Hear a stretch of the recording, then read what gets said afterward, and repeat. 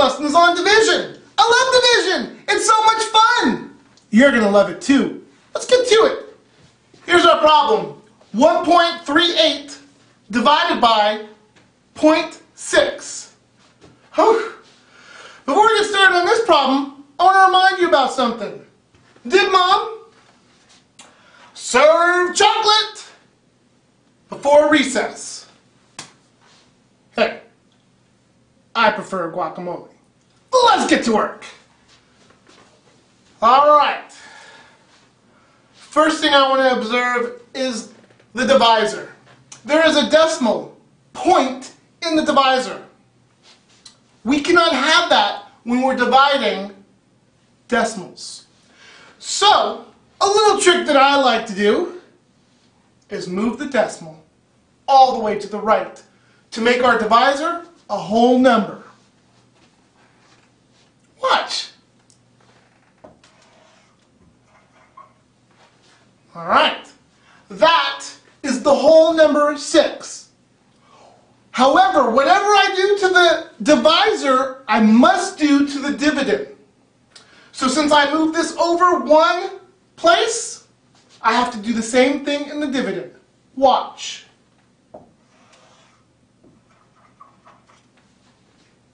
Now I'm going to raise my decimal into the quotient.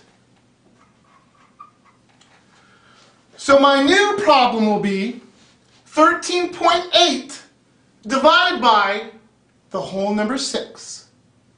Now I'm going to organize my problem.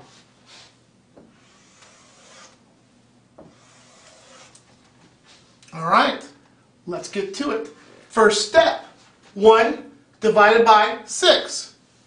Can't do it! Use a 0. Next step, multiply. 6 times 0, 0. Next step, subtract. 1 minus 0, 1.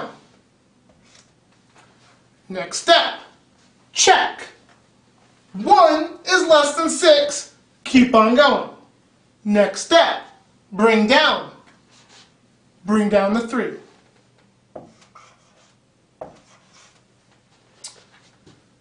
Repeat the whole process. Back to the top.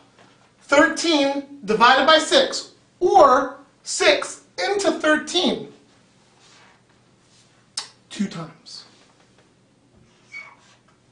Next step, multiply. 6 times 2, 12.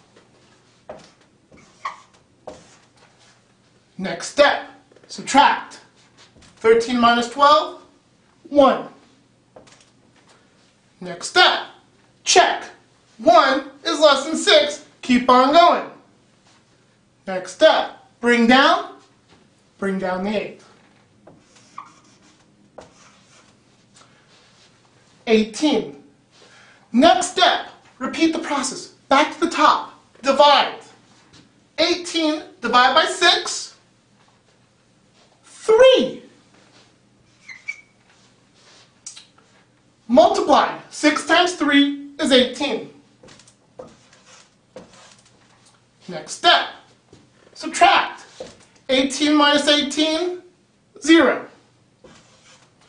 Next step. Check. 0 is less than 6. Keep on going. Next step. Bring down. Nothing there. Therefore, 13, I'm sorry, 1.38 divided by 0.6 gives us a quotient of 2.3, or 2 and 3 tenths. That concludes our lesson on division. Coach Mike at My Growing Brain. Challenge yourself.